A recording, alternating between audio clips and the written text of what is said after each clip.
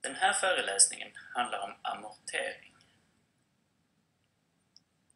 Föreläsningens mål är att kunna skilja på amortering och ränta, att kunna beräkna hur mycket som måste amorteras vid varje tillfälle om ett lån ska återbetalas inom en given tid, samt att kunna beräkna den totala räntan för ett lån som förändras på grund av amortering.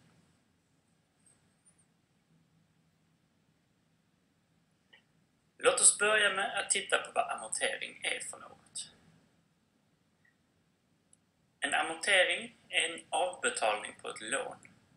Istället för att betala av hela lånet på en gång så betalar man alltså en del av lånet.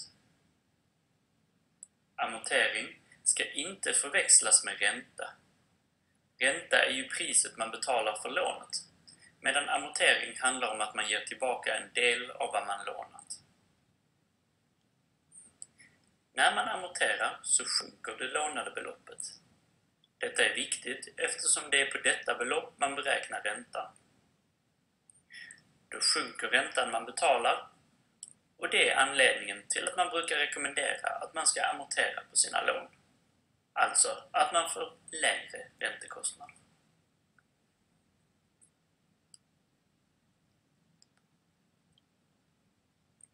Det är viktigt att hålla i minnet när man räknar med amortering att det lånade beloppet sjunker när man amorterat och att man därför måste ändra beloppet som man beräknar räntan på efter varje amortering. Vi kör ett exempel.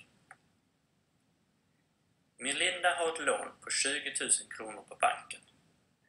Hon kommer överens med banken att hon ska amortera en gång per år med lika stora belopp varje gång. Lånet ska vara återbetalt efter fyra år och räntan är 5% Hur mycket kommer Melinda att ha betalt i ränta till banken när lånet är återbetalt? Det första vi måste göra är att ta reda på hur stor varje amortering är. Eftersom allt ska betalas av på fyra år så måste varje amortering bli 20 000 delat på 4. Alltså 5000 kronor. För att vi nu ska få en ordentlig överblick över Melindas övergavning så gör vi en tabell. Tabellen hjälper oss att hålla ordning på alla siffror så att vi inte gör några slarvfel. I tabellen har vi tagit med lånets storlek, hur mycket som ska betalas i ränta samt hur mycket som ska amorteras. Eftersom lånet betalas av på fyra år så är vi intresserade av hur det ser ut under dessa fyra år. Under år 1 är lånet 20 000 kronor. Räntan var på 5 och därför blir räntan på de 20 000 0,05 multiplicerat med 20 000, alltså 1 000 kronor. I slutet av året amorteras sedan 5 000 kronor detta gör att lånet blir 5 000 kronor mindre och i början av år 2 har hon därför 15 000 kronor kvar i lån. En procent i ränta på 15 000 ger 0,05 gånger 15 000 vilket blir 750 kronor. I slutet av år 2 så amorteras ytterligare 5 000 kronor vilket gör att lånet i början av år 3 är 10 000 kronor. 5% på de här 10 000 ger oss 0,05 gånger 10 000, alltså 500 kronor. Nu amorterar vi 5 000 kronor till och i början av år 4 kvarstår alltså endast 5 000 kronor av lånet. Räntan på dessa 5 000 blir 250 kronor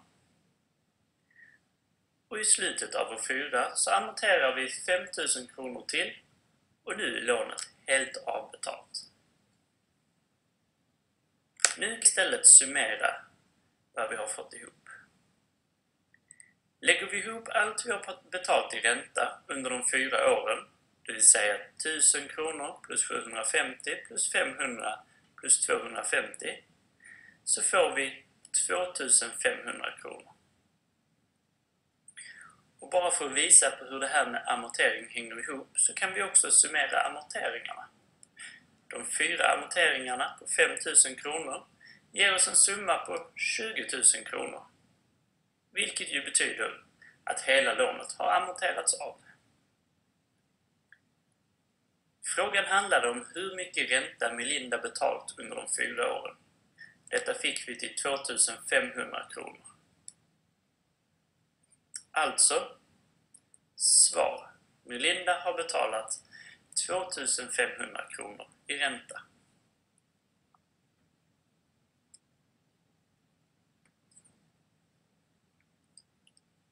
På matteboken.se hittar ni information om amortering under rubriken Lån.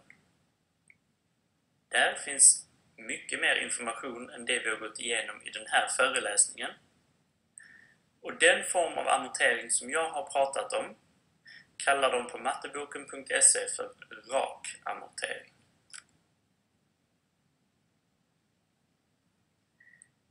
Se den till så att ni kollar upp så att ni har klarat av föreläsningens mål.